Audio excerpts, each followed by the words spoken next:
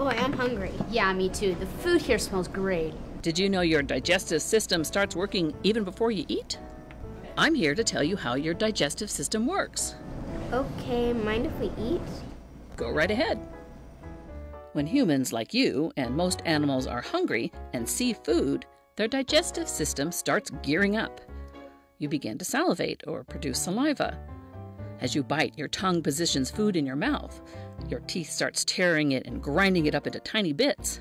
Saliva or spit helps soften the food, and your tongue forms the food into little balls called bolus and pushes them toward the back of your throat. Is that when you swallow? Yes, but you have to be careful. Your trachea or windpipe sits right behind your mouth, and sometimes food or liquid can slip in and you cough. You need to chew your food thoroughly. Good advice. Yeah, thanks. What happens next? Well, now you swallow, and the small balls of food go into the esophagus. The esophagus is a tube made up of an elastic muscular wall. It's about 10 inches long and can expand to move food into your stomach. There are rings of strong muscles around the esophagus, and they squeeze behind each lump and push food along. This process of muscles pushing food along is called peristalsis, and you find the same action along the digestive system.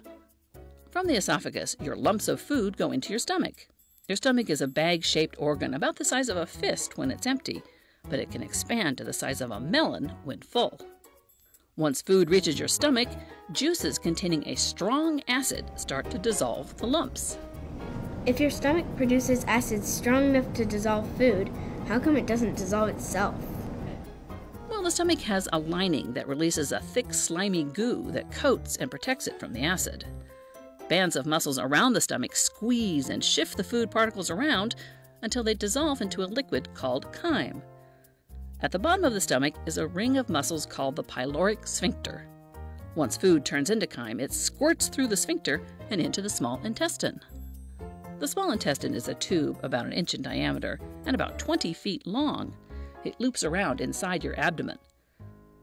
The small intestine is lined with millions of tiny finger shaped villi that contain enzymes that break down the chyme into nutrients or food chemicals. As the nutrients move along, they go into the blood vessels inside the villi and out to the rest of the body. What's left goes into the large intestine. The large intestine is shorter and wider than the small intestine. Hey, you want to see what one actually looks like? Sure. This is my large intestine. It was filmed during a colonoscopy.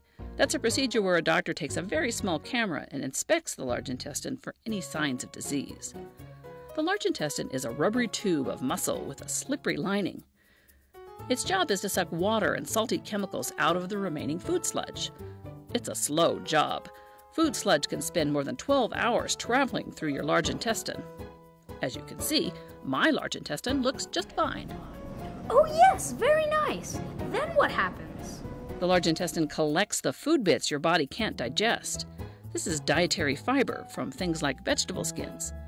Fiber is important because as it sweeps through your system, it helps keep things clean and you healthy. There are other organs that are important to your digestive system. The pancreas is a long yellowish organ that releases enzymes into the small intestine to help break down food. Your gallbladder is next to the stomach and it holds a greenish yellowish substance called bile.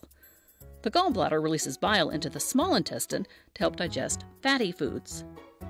And most important is the liver.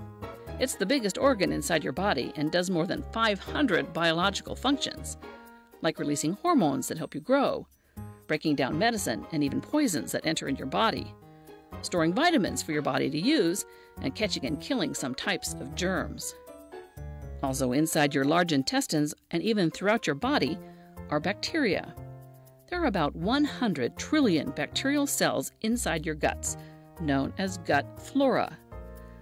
Gut flora can make up as much as 30% of your body weight. Gut flora helps us digest our food and turn it into nutrients.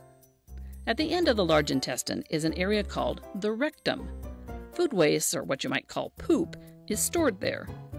Liquid waste, made up of water and waste chemicals collected by your blood, are filtered by your kidneys and sent to a stretchy bag called the bladder.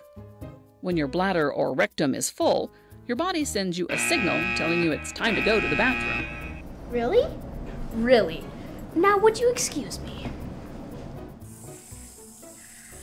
Good job. You should always wash your hands after going to the bathroom. Gut flora is fine when it's in the gut, but if you swallow any, you can get sick. Gut flora comes out when you go to the bathroom, and you can get some on your hands. So, washing your hands with warm water and soap every time you go to the bathroom protects you and others from getting sick. I know. It's time for dessert. You know, your digestive system is really important. Your body needs 13 vitamins and more than 20 minerals, and lots of other important things you get from food and drink. Your digestive system takes the food you eat and soaks up all those nutrients and sends them around your body. These are chemicals you need to give you energy, to heal cuts and scrapes, to help you stay warm, to help you grow and stay healthy. So eat right. We will. Won't you join us? Don't mind if I do.